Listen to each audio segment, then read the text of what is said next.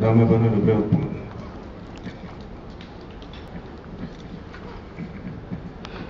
Když jsem přemýšlel, co zde na tomto místě a v tento den eh, říci k této vzpomínce, k této pěkní akci, položil jsem si sám sobě otázku, čím se vlastně vyznačuje onen akt, onen skutek nebo činnost, eh, kterou nazýváme hrdinstvím.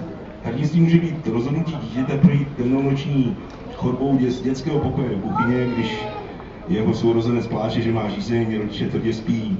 Hrdinství může být nezávat, nezaváhat a vytáhnout eh, spolužáka z díry ledu při zimním bruslení. Hrdinství může být odhodlání postavit se na obranu člověka napadeného skupinou opilců či zlodějčků. Hrdinství může být obětování svého vlastního pohodlí zájmu někoho blízkého a někoho, koho máme rádi. I někoho, koho třeba vůbec neznáme. A mohou jim být desítky a stovky dalších různých činů, skutků, ale vždy motivovaných snahou pomoci. Tento akt, toto rozhodnutí je často spontánní, bezprostřední a začasté je motivováno čímsi dobrým hluboko v nás. Snad je to onen mravní zákon nás, jaký formuloval Immanuel Kant. Snad přirozená lidská vlastnost u někoho hluboko zasutá, skomírající, avšak u z nás zcela přirozená a ve jménu toho lepšího v nás vystupující do popředí.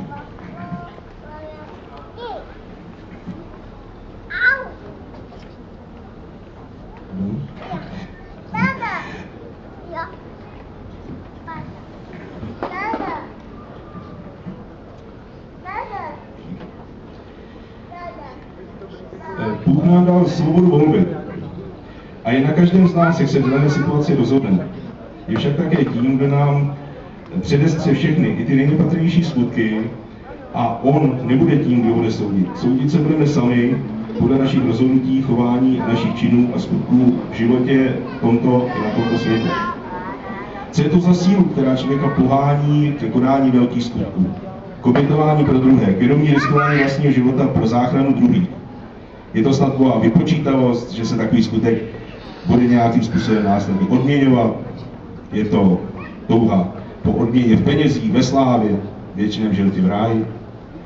Nemyslím si. Je to boží přítomnost, soucit a odvaha, vůle a láska ukrytá v každém z těch obyčejných smrtelníků, z nichž mnohé za jejich činy později právě nazýváme hrdiny. Je to ten fundament, na základě něhož člověk jde a postoupí riziko vlastního nebytí a pokusí se zachránit bytí toho druhého. Každý z nás, ať to zájemně tak nevypadá, stojí mnohokrát před rozhodnutím, jak se zachovat, jak jednat situaci, před kterou jsme postaveni. A Bůh nám dává právo volby. Myslete na sebe nebo i na ty druhé.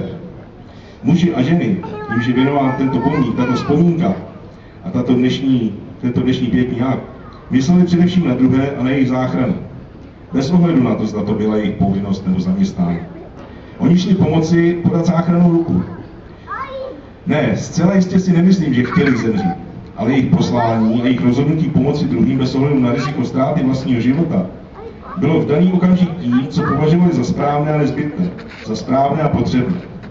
Právem a bez jakýchkoliv pochybností je můžeme nazývat hrdiny. Hrdiny 11. září. Hrdiny, kterými se stali nikoli skrze odporný a zavržení čin muslimských fundamentalistů, nenávidící právo druhých na odlišné chápání svobody a lidských hodnot, fanatiků bez úcty k životu druhého. Ale hrdiny ve jménu cti, odpovědnosti a daného slibu. Hrdiny ve jménu soucitu a lásky k bližnímu. A to je také odkaz hrdinů, hasičů a záchranářů mělských sborů, odkaz hrdinů 11. září pro každého z nás. Jdi a podej pomocnou ruku bližnímu svému. Je-li mu zlé, potřebuje to, či je-li mu nejhůř. Jdi a nepřemýšlej, co s tou bližní, jestli ztrátu nebo zisk. Jdi a zachovej se, jak vyšší princip rovní každý, káže každému z nás.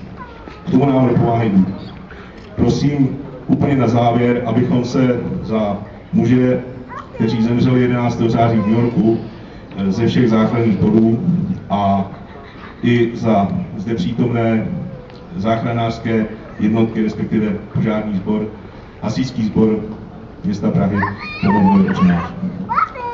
Očenáš, jen si na nebesích, posvěd si jméno Tvé, přijď království Tvé. Buď vůle Tvá, jako v nebi, tak i na zemi. Chléb náš vezdejší dej nám dnes a odpust nám naše viny, tak jako i my odpouštíme našim viníkům.